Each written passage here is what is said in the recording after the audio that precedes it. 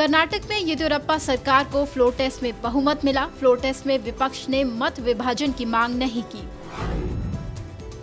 Floor test से एक दिन पहले स्पीकर ने कांग्रेस और जेडीएस के 14 और बागी विधायकों को अयोग्य घोषित किया। स्पीकर के फैसले के खिलाफ बागी विधायक सुप्रीम कोर्ट पहुँचे।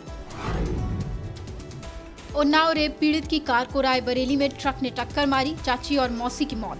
रेप पीड़ित और वकील की हालत गंभीर। विपक्ष ने मामले में सीबीआई जाँच की मांग की। प्रियंका गांधी बोली, उन्नाव रेप केस का आरोपी विधायक अभी तक बीजेपी में क्यों? लोकसभा में समाजवादी पार्टी के सांसद आज़म खान ने बीजेपी सांसद रमा देवी पर दिए गए अपने बयान पर दो बार माफ़ी मांगी। कहा, वो मेरी बहन की तरह है। यूपी के चंदौली में जय श्री राम नहीं बोलने पर एक मुस्लिम युवक को चार लोगों ने ज़िंदा जलाया।